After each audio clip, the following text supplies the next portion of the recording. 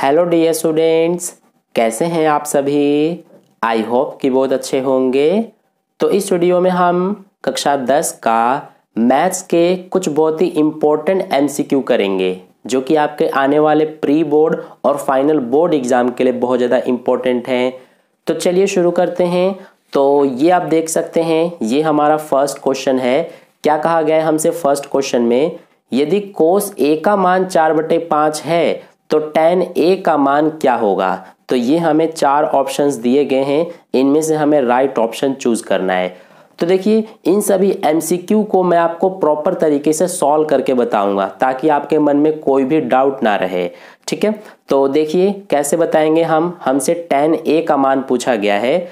तो यहाँ पर हम इसका सॉल्यूशन स्टार्ट करते हैं। हमें दिया है कि कोस ए जो है, इसका मान चार बटे पाँच है। अब ये हमारा क्योंकि कोस ए है तो कोस का हमारा ट्रिग्नोमेट्री रेशो क्या होता है? ये होता है हमारा आधार बटे में कर्ण, ठीक है? यानी कि आधार हमारा चार हो जाएगा और कर्ण हमारा पाँच हो जाएगा। तो यहाँ पर सबसे पहले हम एक समकोण त्रिभुज बना लेते हैं। ये हमारा समकोण त्रिभुज हो गया। इसमें इसका नाम दे देते हैं बी ये ए बी और ये सी तो हमें कोस ए जो है, इसका मान चार बटे पाँच दिया है। तो आधार हमारा चार और कर्ण पाँच है। तो कर्ण ये होता है, ये हमारा पाँच हो गया। और ये क्योंकि इसमें एंगल ए है तो ये हमारा एंगल ए हो जाएगा मेन एंगल इसके सामने ये वाली भुजा है तो ये लंब हो जाएगी और आधार हमारा ये ए बी हो जाएगा। तो ए बी हमें चार दिया हुआ है तो यहाँ पे चार लिख देंगे। तो इसमें हमें अब ये जो लंब है सी इसका मान सबसे पहले निकालना होगा। तो इसके लिए हम पाइथागोरस प्रमेय का यूज़ करेंगे। तो पाइथागोरस प्रमेय के अनुसार कर्ण का स्क्वायर बराबर लंब का स्क्वायर प्लस आधार का स्क्वायर होता है। तो कर्ण हमारा सी है, यानी सी का स्क्वायर बराबर लंब हमारा ये सी है। तो सी का स्क्वायर प्लस आधार ये बी है तो इसीलिए बी का स्क्वायर हो जाएगा।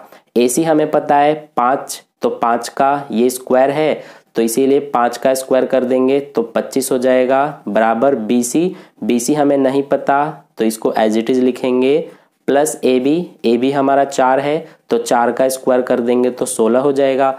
अब हम क्या करेंगे, इस सोलह को इधर ले जाएँगे तो पच्चीस में से ये सोलह माइनस होके नौ बचेगा, इधर हमारा बी सी का स्क्वायर बचेगा।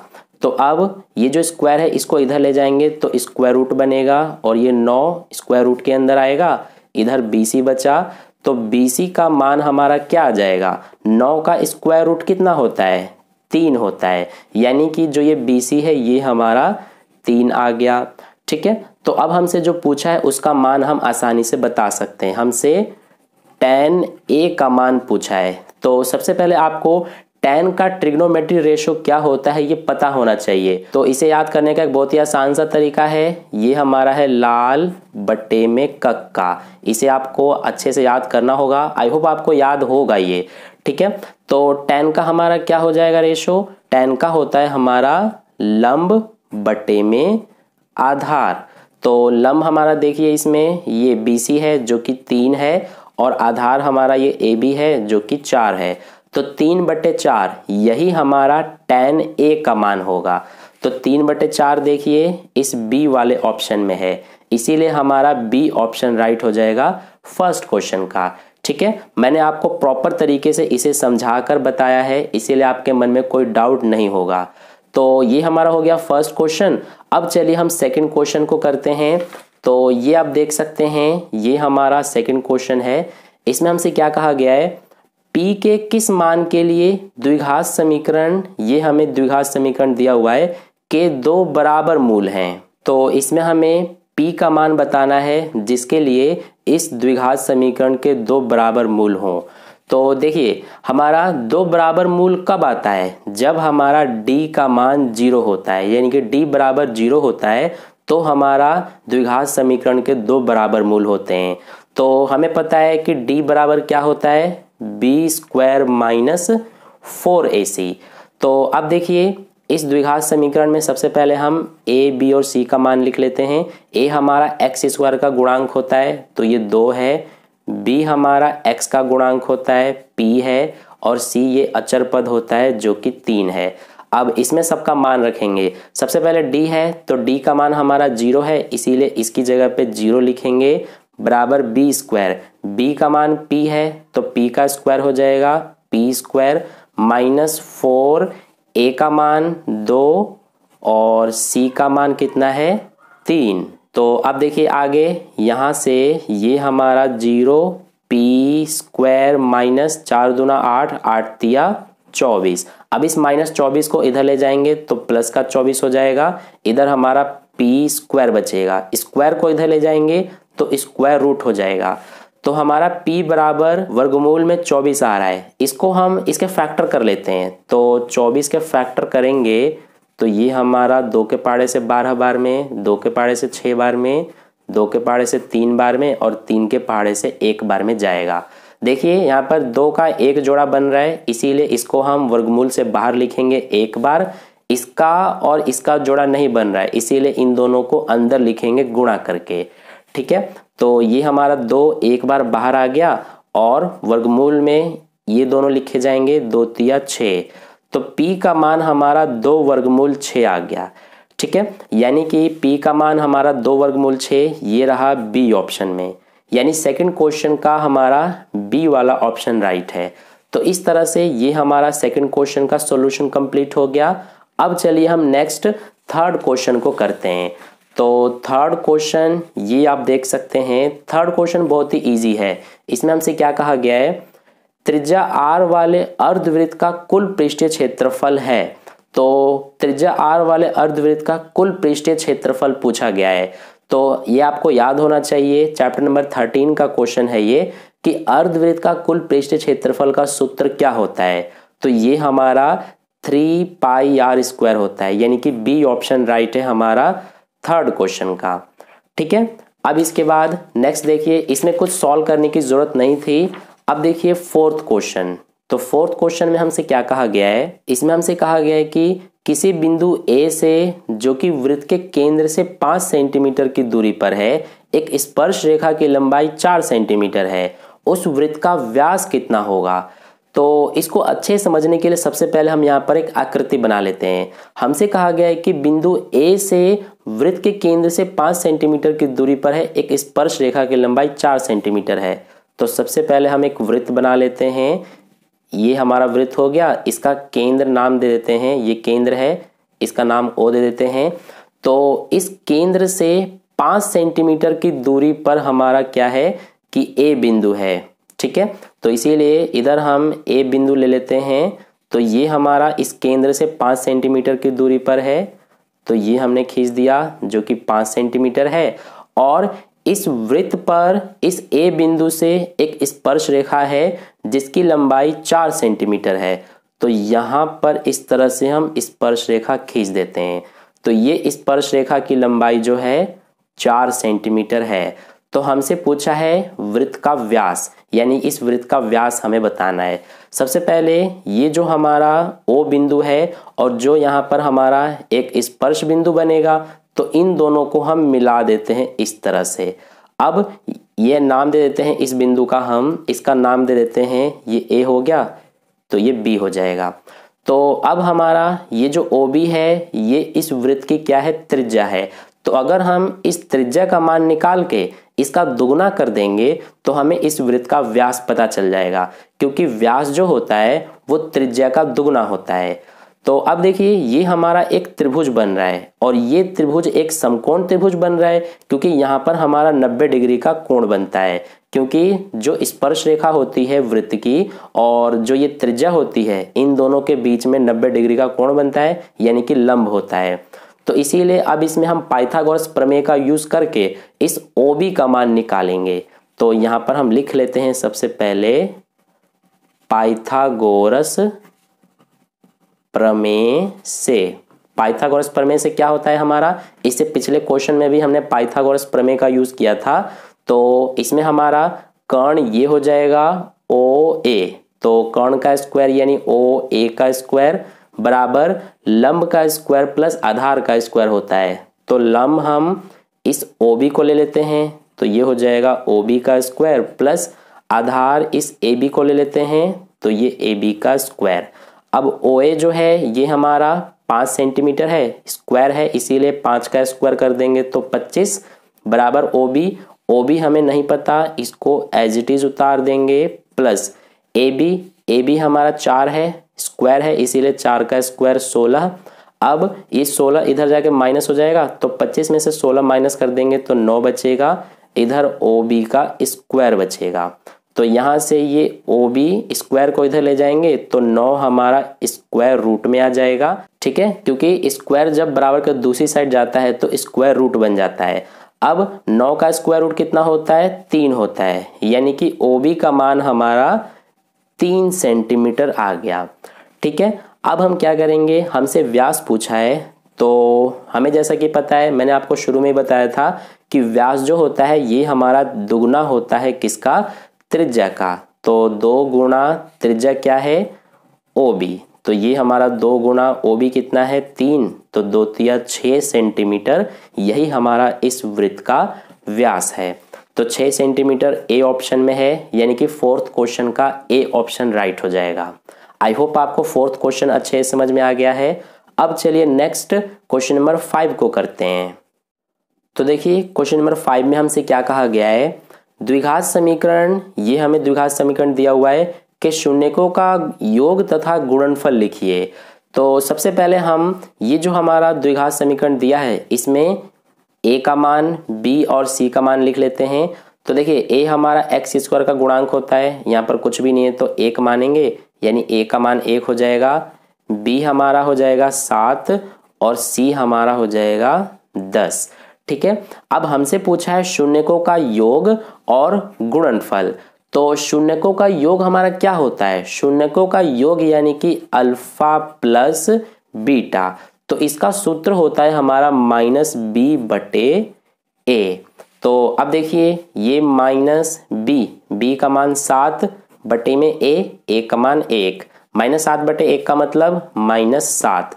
तो शून्यकों का योग हमारा माइनस सात आ गया, और इसके अलावा शून्यकों का गुणनफल भी बताना है। तो शून्यकों का गुणनफल यानी कि अल्फ़ा गुणा बीटा। तो इसका सूत्र होता है हमारा सी बटे ए। तो सी का मान दस बटे में ए का मान एक। दस बटे एक का मतलब दस। तो शून्यकों का योग और गुणनफल हमारा माइनस सात और दस आ गया। तो यही हमारा आंसर है। तो माइनस सात और दस सी ऑप्शन में है, यानी कि फिफ्थ क्वेश्चन का सी ऑप्शन राइट हो जाएगा। ठीक है? तो आई होप आपको ये क्वेश्चन भी अच्छे समझ में आ गया है।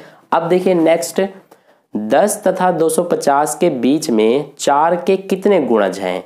तो ये क्वेश्चन हमारा एपी वाले चैप्टर का है चैप्टर नंबर फाइव का। तो इसमें हमें 10 और 250 के बीच में चार के कितने गुणज है ये बताना है। तो देखिए कैसे करेंगे? सबसे पहले जो हमारा 10 और 250 के बीच में चार का पहला गुणज होगा, वो क्या होगा? तो वो हमारा 12 होगा। क्योंकि हमें 10 और 250 के बीच में बताना है। तो पहला हमारा 12 हो जाएगा, फिर दूसरा 16 तीसरा 20 चौथा 24 इसी तरह से हमारा लास्ट कौन सा हो जाएगा? 250 से पहले होना चाहिए, क्योंकि 250 तो होगा नहीं। तो इससे पहले हमारा ये हो जाएगा 248 तो इस तरह से ये जो है हमारा एक एपी बन गया। तो अब हम इस एपी में कितने पद है वो निकालेंगे। वही हमारा होगा आंसर। यानी कि उसी से हमें पता चलेगा कि 10 और 250 के बीच में चार के कितने गुणज हैं। तो अब हम इस एपी के सबसे पहले ए का मान लिख लेते हैं तो ये बारह हो जाएगा। इसके अलावा डी का मान लिख लेते हैं तो दूसरे पद में से पहले को घटा देते हैं तो ये हमारा आ जाएगा चार। और ये हमारा क्या होता है? ये होता है अंतिम पद, यानी कि ए एन का मान।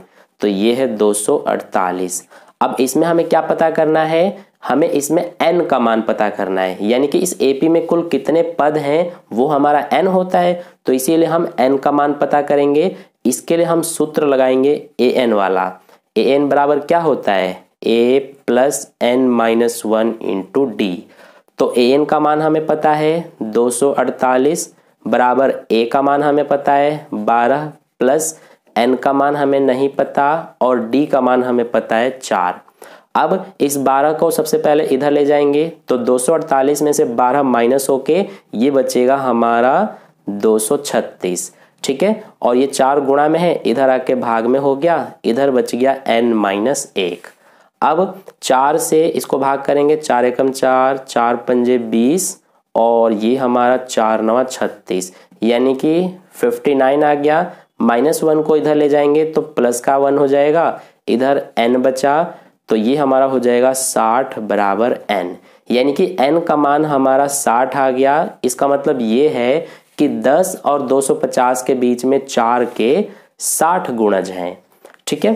तो 60 हमारा ये रहा बी ऑप्शन में, यानी कि सिक्स क्वेश्चन का बी ऑप्शन हमारा राइट है। ठीक है? तो इस तरह से क्वेश्चन नंबर सिक्स का सॉल्यूशन हो गया।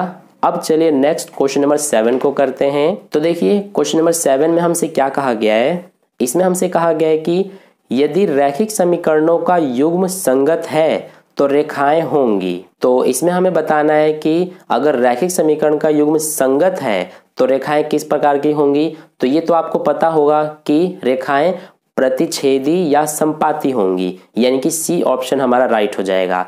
क्योंकि देखिए, रैखिक समीकरण का युग्म जब संगत होता है, इसका मतलब है कि रैखिक समीकरण का जो युग्म है, उसका हल होगा। और हल कब होता है? जब प्रतिच्छेदी रेखाएँ होती हैं या फिर संपाती रेखाएँ होती हैं। ठीक है? संपाती रेखाएँ वे होती हैं जब हम एक रेखा के ऊपर दूसरी रेखा को खींच देते हैं, इन्हीं को हम संपाती रेखा कहते हैं।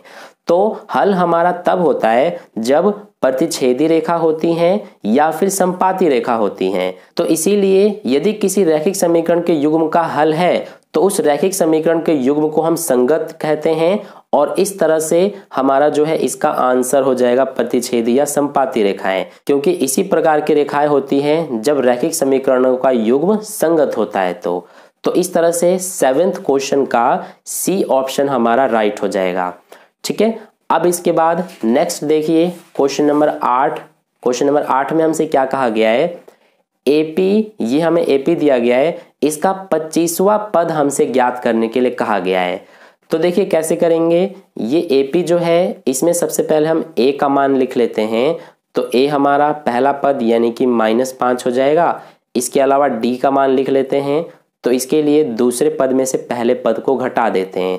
यानी कि माइनस पाँच बटे दो में से माइनस कर देंगे पहले पद को, यानी माइनस पाँच को। तो ये हमारा हो जाएगा माइनस पाँच बटे दो, माइनस माइनस प्लस और ये पाँच। इसको जब हम सॉल्व करेंगे तो हमारा आंसर आ जाएगा पाँच बटे में दो। ठीक है? तो ये हमारा डी का मान आ गया पाँच बटे में दो। अब हमसे पूछा है कि पच्चीसवा पद ज्ञात कीजिए।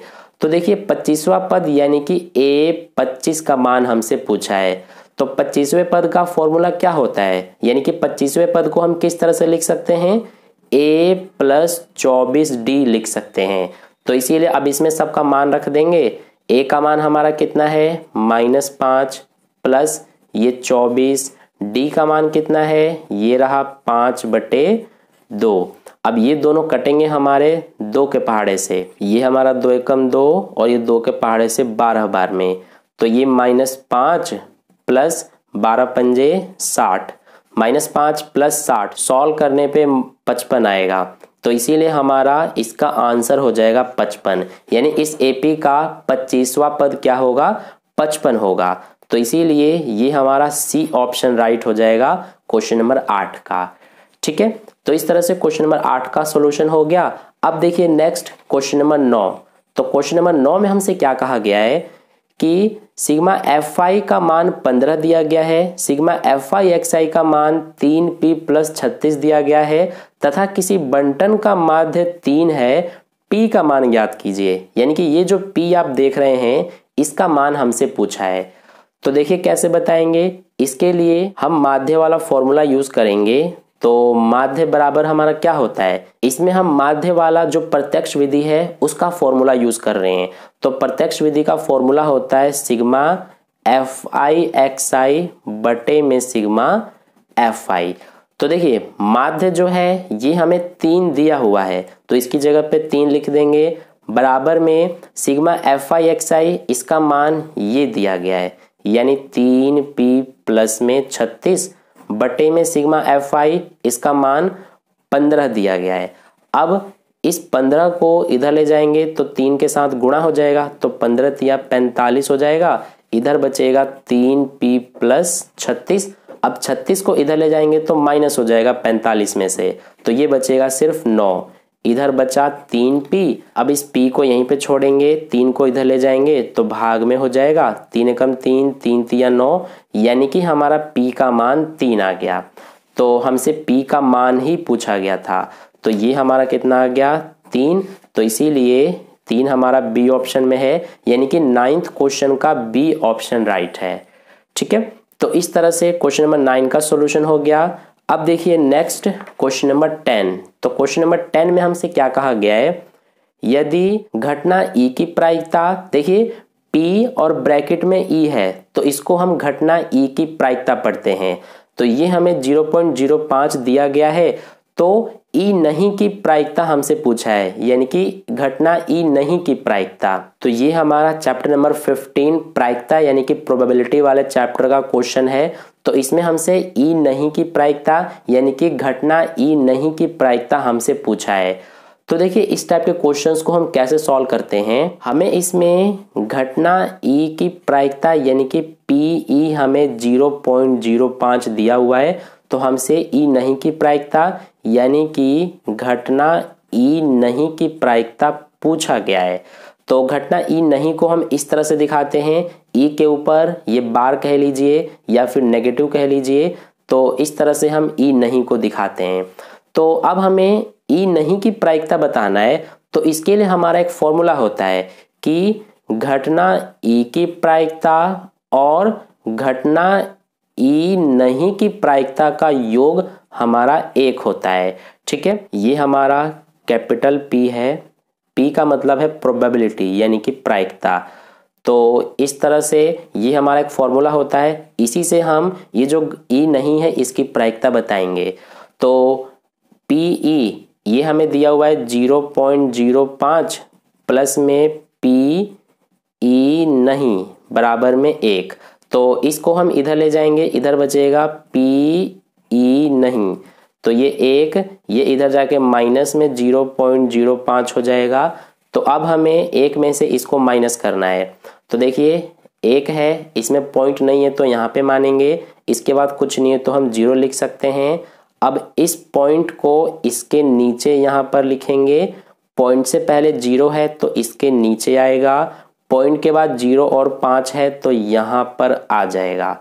अब घटाएँगे, ये दस हो जाएगा। दस में से पाँच पाँच, यहाँ बचा नौ नौ में से ज़ीरो नौ, पॉइंट के नीचे पॉइंट, यहाँ बच गया ज़ीरो ज़ीरो में से ज़ीरो ज़ीरो। तो हमारा ई नहीं की प्रायिकता ज़ीरो पॉइंट नौ पाँच आ गया, यही हमारा आंसर है। ठीक है? तो देखिए, ज़ीरो पॉइंट नौ पाँच, ये हमारा बी ऑप्शन में है। तो इसीलिए टेंथ क्वेश्चन का ये बी ऑप्शन राइट हो जाएगा। ठीक है? तो इस तरह से हमने टोटल 10 एमसीक्यू किया है। आई होप आपको 10 के 10 एमसीक्यू अच्छे समझ में आ गए हैं। तो अगर आपको वीडियो अच्छा लगा है तो वीडियो को लाइक ज़रूर कर देना और अपने दोस्तों के साथ भी शेयर कर देना। और अगर आपको इसी टाइप के और भी इंपॉर्टेंट क्वेश्चंस की वीडियो चाहिए और उनके सॉल्यूशन की तो आप मुझे कमेंट बॉक्स में ज़रूर बताना। मैं आपके लिए और भी आगे आने वाले टाइम में बहुत सारे इंपॉर्टेंट एमसीक्यू और इसके अलावा लॉन्ग आंसर टाइप क्वेश्चंस के भी वीडियो लेकर आऊँगा। तो वीडियो अच्छा लगा है तो लाइक ज़रूर कर देना, अपने दोस्तों के साथ भी शेयर कर देना। और अगर आपने अभी तक चैनल को सब्सक्राइब नहीं किया है तो चैनल को सब्सक्राइब करके साइड में जो बेल आइकन आता है उस पर ऑल पे क्लिक कर लेना ताकि नेक्स्ट वीडियो जैसी अपलोड की जाए, उसका नोटिफिकेशन सबसे पहले आप तक पहुँच जाए। मिलते हैं फिर नेक्स्ट वीडियो में। धन्यवाद।